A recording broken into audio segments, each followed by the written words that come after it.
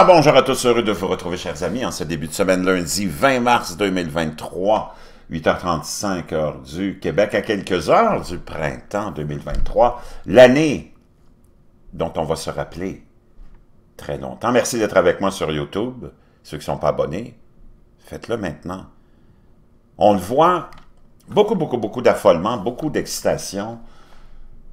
Et c'est toujours comme ça que le système fonctionne, par distraction. Il y a beaucoup, beaucoup de distractions politiques, culturelles, de guerre de sexe, de guerre de religion, encore aujourd'hui, de guerre de genre, de guerre de toutes sortes, pour nous faire oublier les vraies affaires. Par exemple, en les effondrements économiques, où c'est toujours les mêmes qui sont sauvés avec des parachutes, euh, soit dorés ou avec les payeurs de taxes qui payent la facture de leurs mauvais investissements, leurs mauvaises décisions, parce qu'ils savent que ça va arriver. Donc, l'argent disparaît, ou d'autres, il y a beaucoup, beaucoup, beaucoup de distractions, et c'est toujours le même qui paye. C'est le payeur de taxes, c'est le citoyen ordinaire, c'est la citoyenne ordinaire. Après ça, on nous arrive avec la distraction, naturellement, qui est très importante, et de l'idée de vouloir sauver la planète. Qui ne veut pas sauver la planète? Ce serait ignoble de ne pas avoir le sentiment de vouloir sauver la planète. Et là, on le sait, l'industrialisation a amené un coût euh, énorme de consommation et de déchets et de pollution. Pendant qu'on est là, encore là, à distraire les gens avec, bon, l'idée de vouloir changer le moyen de transport euh, qui est utilisé depuis euh, l'avènement de la voiture, la démonisation du CO2 et ainsi de suite, les poissons meurent par millions, les animaux meurent par millions, les humains meurent par millions de maladies comme le cancer. Et les poissons, on va le voir ensemble, encore des vagues de millions et de millions de poissons qui meurent. On est, on incapable de vraiment trouver des explications. On nous dit que c'est, par exemple, en Australie, une vague de chaleur. Moi, j'ai 60 ans, là, puis on vit au Québec, où des fois, il y a des vagues de chaleur intenses qui durent deux semaines. J'ai rarement vu un seul poisson mourir parce qu'il faisait trop chaud, parce qu'ils sont dans l'eau. mais en tout cas, je suis pas un scientifique. Mais moi, je me dis qu'encore là, on nous distrait beaucoup avec cette idée hein, de, ce culte de la climatologie. Quand tu commences à mettre ton nez là-dedans, c'est, comme on dit, tout un rabbit hole. C'est devenu politique, c'est devenu religieux, c'est devenu euh, ésotérique vraiment inquiétant. Il n'y a aucune vraiment, euh, vraiment science solide, crédible, qui s'est penchée là-dessus pour nous amener les explications et les solutions. Quand tu vois la politisation de tout ça, quand tu vois du monde comme Al Gore, vraiment, là, John Kerry, vraiment, puis toutes les autres de, cette même, de ce même acabit, se lancer là-dedans, faire des milliards avec ça, avec le marché du carbone, le Beyond Meat, euh, puis toutes les autres... Euh, production hein, hollywoodienne, le cinéma, les livres vendus, tu te demandes c'est quoi l'intérêt profond de ces gens-là, l'intention profonde de ces gens-là? Parce qu'il n'y a pas vraiment grand-chose qui change. Parce que entre toi et moi, ces gens-là le savent que tu ne peux pas te débarrasser de l'énergie que tu as en ce moment, qui te permet de t'éclairer, qui te permet de te chauffer, de te climatiser, de te transporter. C'est complètement illusoire de penser que demain matin, ou dans 5 ans, ou dans 10 ans, tu puisses faire rouler tout le monde avec une voiture électrique qui est très problématique pour l'environnement et au niveau des ressources disponibles. Tu penser au parc automobile? Parce qu'il faut à un moment donné s'arrêter puis réfléchir, puis penser à ce qu'on nous... Euh, analyser ce qu'on nous raconte. Je pense pas que les pays en voie euh, de en tout cas émergents, comme on les appelle, comme l'Inde et plein d'autres pays, même la Chine, soient en mesure demain matin de s'acheter une voiture qui coûte 25 à 30 000, même 40 000 dollars de plus, et même nous ici, dans nos pays respectifs, la majorité de la population, comme vous et moi, on est vraiment incapable de s'acheter une voiture électrique. C'est illusoire de penser que tu vas changer le parc automobile, même d'ici 100, 200 ou 300 ans. C'est complètement illusoire de penser que l'ensemble du transport en passant par les bateaux, les camions, les, avions, et les fusées, et tous ces gens de l'élite qui utilisent leur jet privé pour aller voir un ami ou pour aller euh, baiser une amie. Je pense pas que ces gens-là se promènent en jet privé électrique demain matin non plus. Donc, c'est très, très subliminal, disons-le comme ça. Mais moralement, c'est hein, c'est infaillible comme euh, formule. Mais le sérieux de tout ça, je ne sais pas jusqu'où euh, ça émerge. Ceci étant dit, ce qui est très réel et très... Et c'est pour ça que toute la distraction autour du CO2, puis des voitures à l'énergie fossile prend toute la place, c'est toujours le même monde. Comme dans les autres questions dont je t'ai parlé au début, de distraction, c'est toujours le même monde qui gère cette question-là. Donc, ils ont vraiment très peu de crédibilité. On a vraiment très peu de confiance en eux. Et encore là, on ne veut pas t'empêcher. S'il y avait vraiment une crise mondiale, urgente, existentielle, on ne demanderait pas de continuer à consommer autant, mais juste de consommer différemment. Puis cette consommation différente-là pour une voiture électrique va endommager encore plus l'environnement. On dirait, faut tout arrêter, faut retourner aux, aux chevaux, faut retourner aux ânes, et faut retourner au canot et à la marche. Mais c'est pas ça qu'on dit. Et pendant ce temps-là, l'environnement, lui, en prend un coup, c'est pas... Et même tous ceux, ces alarmistes-là, comme plusieurs les appellent, ces curés de, ce nouveau culte, ont juste l'obsession du CO2, de la batterie électrique et de la viande artificielle dans le cas d'Al Gore, lui, il est dans tous les champs, lui. il va être sûr de ne pas manquer son coup financièrement. C'est lui qui est derrière Beyond Meat, c'est lui qui est derrière toutes les productions hollywoodiennes, c'est lui qui est derrière le marché du carbone, c'est lui qui est derrière. Lui, il s'est dit, moi, je prends pas de chance, il faut que je sois multimilliardaire, puis il l'est, multimilliardaire. Parce que c'est très sérieux au niveau de l'environnement. Ces gens-là camouflent le massacre qu'on est en train d'imposer. Et tous ces gens-là, en passant même par Greta Thunberg, que tout le monde euh, idolâtre, tu l'entends jamais parler de l'environnement, des désastres de la consommation, euh, des désastres que tous ces grands amis qui la financent et qui la font se promener en jet privé aussi, euh, font subir à la planète. Il n'est pas question que Greta Thunberg laisse tomber son iPhone. Il n'est pas question que Greta Thunberg, j'imagine, laisse tomber Amazon, parce qu'elle doit sûrement, comme toutes les adolescentes de son âge, commander plein d'articles sur Amazon. Elle se promène en jet privé, elle s'en va à New York, elle s'en va à gauche, elle s'en va à droite. Chers amis, c'est la question qu'on doit se poser. Pourquoi tous ces représentants du nouveau culte, de cette nouvelle religion, parce qu'une religion doit en remplacer une autre, c'est pas dans leur priorité, comme c'est irréalisable de penser qu'on peut tous s'en aller en voiture électrique, même d'ici 150 ans, et ces gens-là le savent, ils ne peuvent pas remplacer le pétrole, le charbon, le bois et l'essence dans nos vies quotidiennes, et même le nucléaire, comme on va aller le voir. Pourquoi ces gens-là ne mettent pas toutes leurs énergies à combattre toutes les industries, toutes les élites financières qui nous font consommer comme ça parce que c'est eux qui sont derrière ça?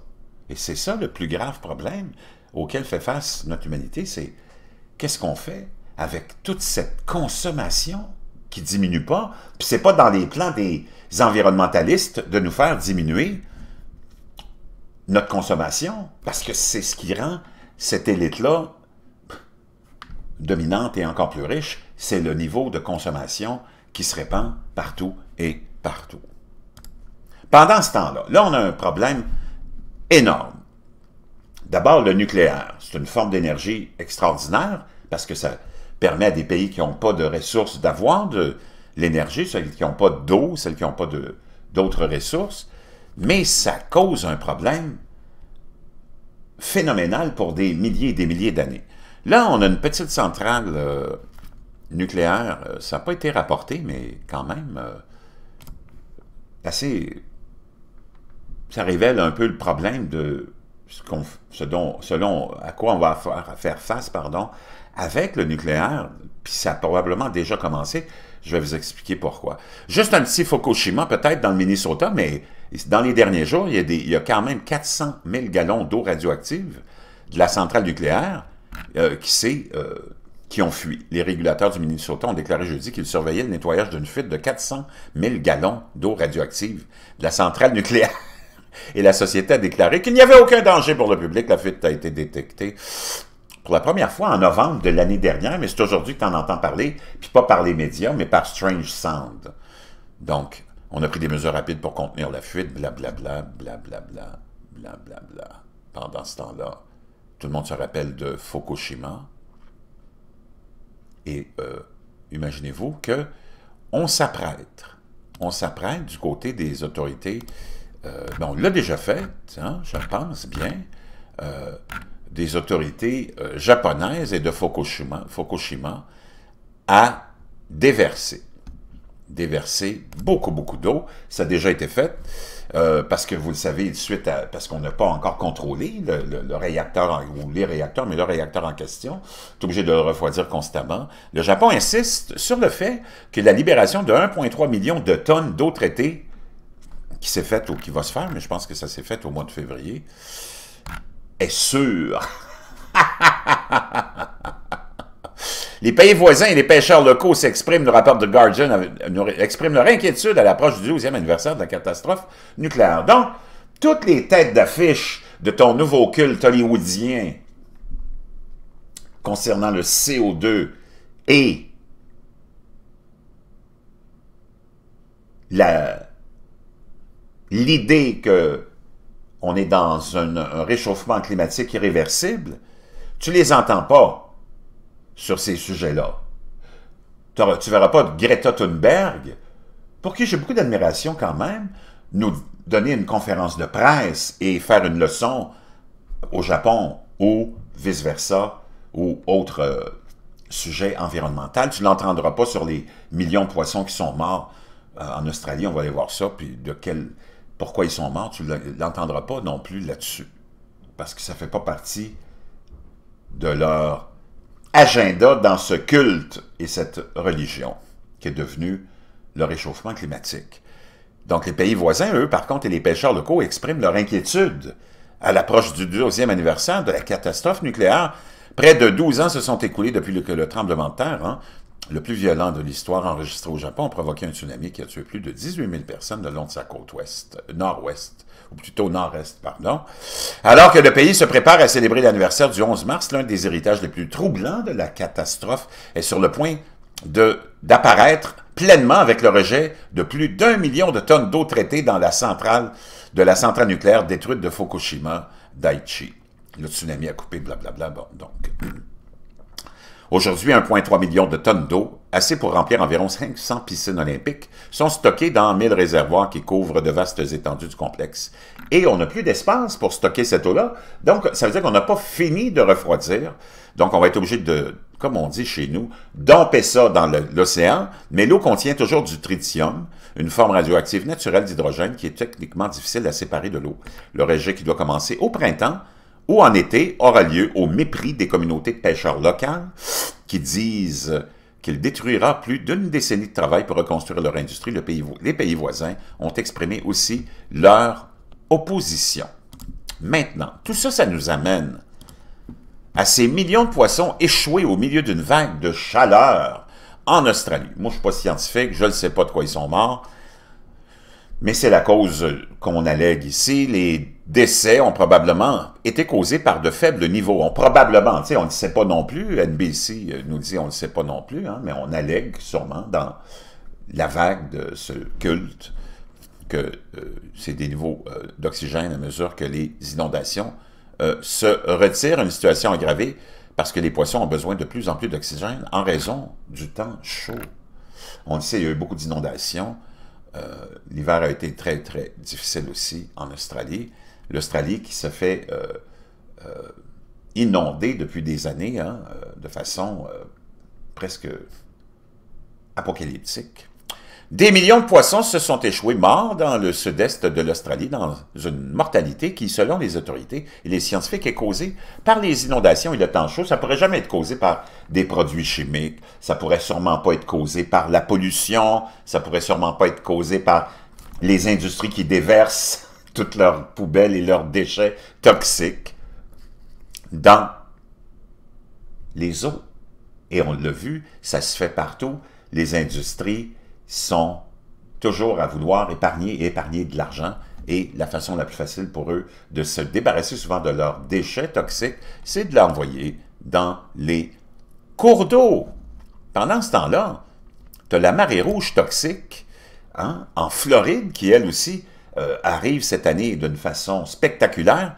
Et tu peux même pas aller à la plage. Apparemment, la marée rouge toxique est de retour sur la côte du golfe de la Floride avec des milliers de poissons morts couvrant euh, les, euh, l'eau euh, et les, berges et les plages. Des dizaines de milliers de poissons morts s'échouent sur les plages du sud-ouest de la Floride à cause de la marée rouge, selon la Florida Fish and Wildlife Conservation Commission. Une vidéo publiée sur Facebook a montré de nombreux poissons morts échoués à Venise, non pas en Italie, mais en Floride. Ils variaient de taille. Ils étaient de petits à quand même assez euh, gros. Il y en a un qui pesait jusqu'à 800 livres. La marée rouge est un type de prolifération d'algues nuisibles qui se produit lorsque des colonies d'algues deviennent incontrôlables et produisent des toxines qui peuvent tuer la vie marine, mais aussi être euh, euh, très dangereuses pour la santé humaine avec des émanations et des produits toxiques dans l'air. La qualité de l'air est si mauvaise que tu peux aller, tu ne peux pas aller à la plage, aidez-nous, euh, aidez-nous, demandent euh, ou disent euh, les, les gens. Donc, tu le vois, c'est très, ça aussi c'est très significatif, tu n'entends pas vraiment les ténors parler de, de ce méga problème que pose ces millions, euh, de morts, euh, soit en Australie ou la fameuse vague en Floride, où, euh, vous le savez, c'est peut-être causé par, naturellement, des produits chimiques que l'on déverse dans les eaux, que ce soit venant peut-être de l'agriculture, où, vous le savez, les océans sont utilisés comme des poubelles, parce qu'on pense que c'est infini et illimité, tous ceux qui trichent, toutes les industries qui trichent, les bateaux, nous, on ne sait pas ce qui se passe, parce que tu peux, toi, tu te promènes pas sur l'océan, puis moi non plus, c'est vaste, je te rappellerai que c'est 70% à peu près de la surface de la Terre, et qu'il y en a beaucoup de déchets qui sont jetés là-dedans. Les pauvres océans sont utilisés depuis probablement le début de l'industrialisation comme poubelle, comme réservoir de tous les déchets que tu peux imaginer, c'est certain que c'est une bombe à retardement. Les plages de Floride pourraient recevoir un coup de poing de la marée rouge.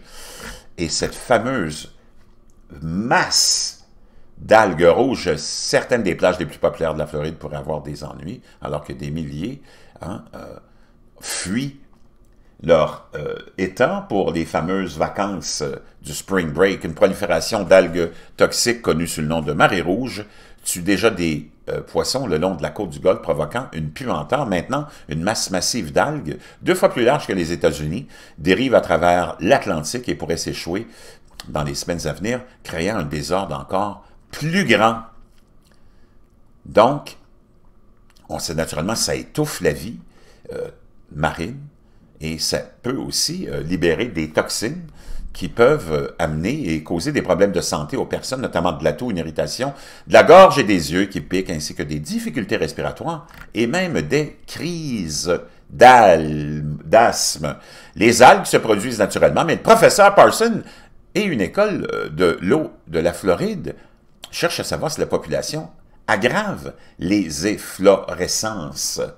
De mauvaises marées rouges se sont produites dans le passé, a déclaré Parson, y compris dans les années 40, 50 et 60, la grande préoccupation est la suivante. Maintenant que nos côtes se sont, encore plus développées et qu'il y a beaucoup plus de personnes en Floride qu'auparavant, comment affectons-nous la qualité de l'eau et comment cela affecte-t-il la marée rouge? Maintenant, je reviens au nucléaire parce que c'est vraiment très, très, très important.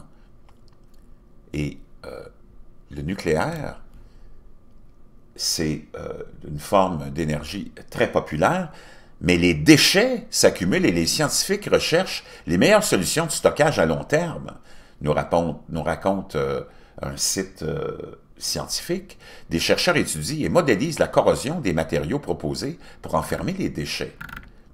Peu importe que vous soyez pour ou contre l'énergie nucléaire, et peu importe ce que vous pensez des armes nucléaires, et on sait, il y a une prolifération en ce moment, les déchets radioactifs sont déjà là et nous devons nous en occuper. Plus d'un quart de million de tonnes métriques de déchets hautement radioactifs sont entreposés à proximité des centrales nucléaires et d'installations de production d'armes dans le monde, dont plus de 90 000 tonnes métriques seulement aux États-Unis, émettant des radiations qui peuvent poser des graves problèmes pour la santé humaine et l'environnement, les déchets, dont la plupart datent de plusieurs décennies, attendent d'être stockés définitivement dans des dépôts géologiques, mais aucun n'est opérationnel, n'ayant nulle part où aller pour l'instant les matières dangereuses et leurs contenants continuent de vieillir. Cette situation insoutenable pousse les experts en corrosion à mieux comprendre comment l'acier, le verre et d'autres matériaux proposés pour les conteneurs de stockage à long terme des déchets nucléaires pourraient se dégrader. Donc ça, c'est le problème qu'on a aussi tous ces déchets peuvent rester dangereux, euh, dangereusement radioactifs pendant plusieurs milliers. On parle de milliers d'années. Pendant ce temps-là, en Europe, on a stocké sous l'ère euh, soviétique, euh, où on a déversé plus de 2,5 millions de curies de déchets radioactifs dans les océans. Cette quantité de déchets est le double du total combiné des déchets radioactifs déversés par 12 autres nations nucléaires pendant toute l'ère nucléaire. Donc, en Europe, pas seulement l'Union soviétique, mais les autres pays dans les années 60, 50, 60, entreposaient les déchets nucléaires dans des tonneaux en béton et les larguaient dans l'océan. Quand je dis que c'est utilisé, l'océan, comme une poubelle, ça, c'est le plus bel exemple déversé sur 20 sites de 59 à 92, un total de 222 000 tonnes métriques, y compris euh, les réacteurs et les combustibles usés, ont été entreposés dans les océans. Moi, je ne sais pas, mais l'océan étant très salé, le béton étant très sensible à la corrosion, je ne sais pas comment tout ça va se terminer, déjà comment tout ça se déroule. Et il n'y a pas beaucoup de gens qui en parlent pendant qu'on est dans la frénésie de l'avancement du nouveau culte de nos grands dirigeants. Des déchets nucléaires liquides et solides ont été déversés par la marine soviétique dans les mers de Barents et de Kara, ainsi que dans l'océan Pacifique. L'Union soviétique a largué un tas de sous-marins nucléaires aussi et de déchets on, puis là, si tu regardes, tu fais des recherches, c'est plein, plein, plein, plein de ce, que, ce dont je te rappelle. Wow! Et c'est comme ça, et c'est comme ça. Tu peux euh, t'en aller euh, pendant des jours, faire des recherches sur tout, tout ce qui a été euh, fait à nos océans, entre autres.